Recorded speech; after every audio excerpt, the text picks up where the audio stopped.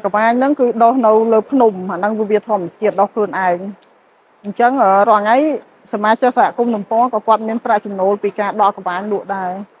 លក់ដល់ទីផ្សារតាមខេត្តហើយនឹងបោះនៅទីផ្សារសម្រាប់ឲ្យភ្ញៀវទេសចរមកលក់នៅវងមូលហើយនឹងតាមហាងបាយវាមានរសជាតិរៀងហិលហិលហើយដូចថាយើងផ្ដាសាយផ្ដាអីវិញយើងហូបទៅក៏វាធ្វើឲ្យយើងស្រួលខ្លួនដែរធូរចំមុះអីចឹង ហើយផ្លែវាក៏វាមានប្រយោជន៍គេយកទៅដាំទឹកហូបដាំអីចឹងដោះដែលពួកខ្ញុំដឹងគឺដោះនៅខេត្តពោធិ៍សាត់ហ្នឹងមានតំបន់រាល់ថ្ងៃដែលដកមកពីអូសោមហើយនឹងខាងតពហ្នឹងហើយនឹងខាងអីសហគមន៍អូជាប់មកបាត់ដំបងក៏មានដែរដើមវាហ្នឹងគឺយកទៅឆាយកឆាហើយនឹងយើងយកទៅស្ងោរជាមួយសាច់មាន់នេះក៏បានដែរស្ងោរជ្រក់ស្ងោរអីហ្នឹងបានអឺបើយើងយកមកដាំគឺវាអត់សូវបានផលដូចវាដុះខ្លួនឯងទេ ដោយសារតែអានោះវាដុះធម្មជាតិវានៅក្រោមដើមឈើ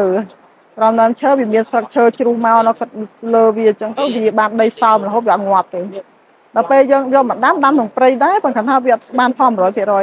បើប្រមូលផលបើសិនជាភ្លៀងរហូតគឺវាមានដុះរហូតបើវារាំងគឺអត់ទេអាកូនវាហ្នឹងអត់ដុះទេគឺវាអត់មានទឹកលូតលាស់អត់មានដីសើមសំណើមអញ្ចឹងវាអត់ដុះទេនេះគឺទីផ្សារកវាញ់ទលំទលាយគាត់ថាយើងអត់មានឲ្យគេ ដកអត់តន់អីចឹងឲ្យគេទីផ្សាររាល់ថ្ងៃគឺខាងទៅភ្នំពេញហើយនឹងជាពិសេសនៅក្នុងស្រុកហ្នឹងហ្មងដែលគាត់ធ្វើបាយហាងបាយសម្រាប់តម្រូវភ្ញៀវភ្ញៀវទេសចរដែលគាត់មកលេង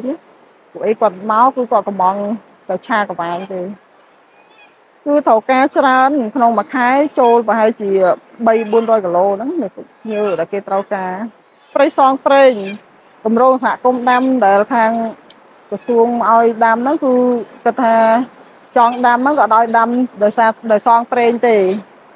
ចង់ដាំថាពេលដែលយើងដែលភ្ញៀវត្រូវការគឺយើងទៅដកផងខ្លួនឯងយកមកលក់អីចឹង